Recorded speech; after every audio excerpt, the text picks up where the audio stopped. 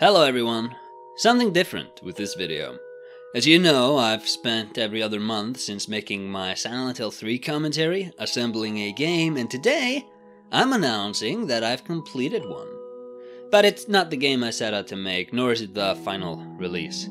See, during development, I hit a massive snack in that I wound up with three or so distinct and mutually exclusive ways to assemble the game, and instead of picking which to use, which was just impossible because I loved them all so much, I thought, why don't I build a smaller game? Utilize each philosophy on a smaller scale, release it for people to play, see what they like, and then go with that. And that's the game I'm releasing with this video. It's called Snail. And it's a short Zelda esque adventure title which sees you cast in the shoes of a young boy having to uncover the horrifying secrets of a cursed swamp. It is available on itch.io, linked below, and it is absolutely 100% free. All I ask for is your feedback, if you want to give it. See, one day, I want to become a great game designer, but the price point for entry, as it is for any creative endeavor, is being open to being bad at it when you start. See my earliest videos on YouTube, for example. It took making many over a long time engaging your feedback to understand what worked. I'm not gonna tell you which design philosophies there are, because I think it might blind you from experiencing the game on your own, but I will say something right now which I hope you take with you, and I'm not saying this to be too cool for school. Temper any expectations you might have, and keep in mind that this game is assembled from debug test objects and is severely lacking polish. Everything you'll see was made ready for testing reasons. None of it was made ready for release. There is no component of the game which I'm not gonna redo, give a facelift to, or outright cut if it doesn't work. It's so basic that the dialogue system I'm gonna have isn't even in the game yet. The one you'll interact with is the tutorial one Friendly Cosmonaut has on her channel. And the movement is still not collision perfected, so I included a debug in the arrow keys in case you ever get stuck in a wall. If the game just crashes or if there's a dead end you can't escape from, I'm very sorry, but it comes with the territory of being my first release. I've playtested it a lot, and I think I caught every major bug, but you know, the internet has a way of making confident people look like idiots, so I'm not gonna I'm not gonna say I caught everything. Uh, like I said, I'm not trying to be too cool for school by saying this. I'm not saying, "Heh, oh, you didn't like it? Well, I wasn't even trying." Um, this is built from test objects and codes, but I did put a lot of love into it. That being said, don't be afraid of being brutally honest with your feedback. I want my final game to be the best version of itself that it can be, and I'd rather not spend a year or so building a game on flimsy foundations.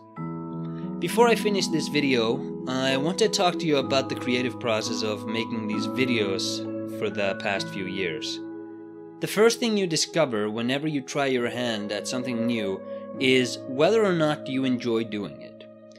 Then you'll discover exactly what parts you enjoy doing more than others. And when you start opening up to others, when you upload your videos and allow for audience feedback, you'll learn what other people appreciate and dislike. This is the Venn diagram of the creative field, and maximizing your success, I believe, is in honing in on the intersection of the two circles. Making what you love for people who love it. A frequent occurrence is that someone will release a passion project only to be shredded by critics and they'll feel unjustly attacked. Often that's a very legitimate feeling, by the way. It's all too frequent for people to bring unreasonable expectations to a work and to not let the work speak on its own terms. The standard matters, and when there is a disconnect from audience and creator, very often things can get heated. I believe in making the things you love because you love making them, but if you want to make them for an audience, it behooves you to actually listen to the audience when they tell you, I, I don't like this. Listening to feedback is what I believe has made me good at producing videos, and I don't say that to congratulate myself, but because I still have my first videos on the channel and anyone can compare and contrast them to my latest output and see that there's genuinely been uh, some creative growth here. I love feedback, positive and negative. I also have a dream to become a full-time game designer and even more specifically I'd like to have a Game Award trophy before 2030. And it's in the interest of growing as a game designer that I'm inviting all of you to play my first released game. I want to hear everything you have to say on Snail. What you liked, what you disliked, the whole thing, because I want to know what of the things I enjoy about the craft resonates with you and what doesn't. Finally, again, keep this in mind. Literally every part of the game you're about to play is on the chopping block. There's nothing sacred. I haven't built a final game outside of some concept sketches, so it's all open to fixing if enough people aren't uh, enjoying something.